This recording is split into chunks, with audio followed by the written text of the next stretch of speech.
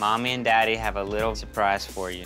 Bibbidi Bobbidi Boutique. Princesses. Y'all are all gonna get made over into your favorite princess. Who's ready? Twirl like a princess. Oh. Go, go.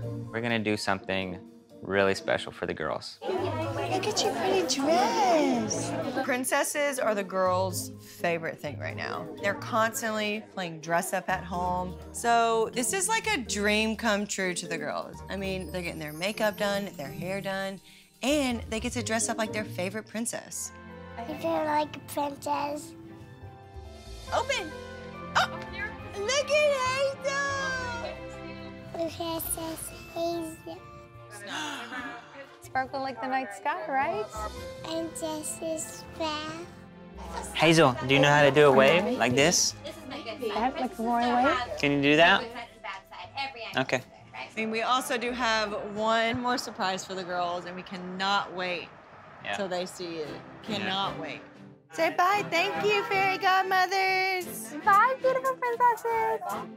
If we thought that they were gonna be beaming, seeing themselves made up like princesses, oh, just wait.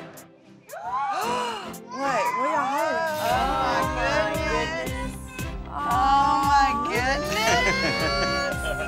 Princesses get to meet princesses. What a surprise.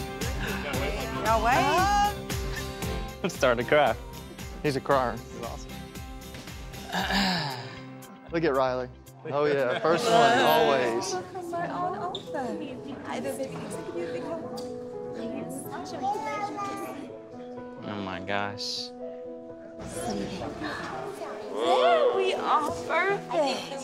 And can I get one from you as well?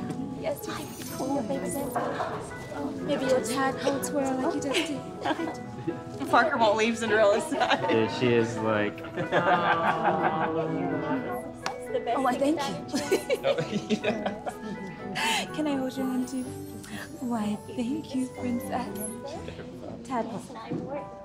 I mean, to, to be a dad and watch your daughters like walk down, like made up like princesses and meet the princesses that they love, I mean, it was very emotional.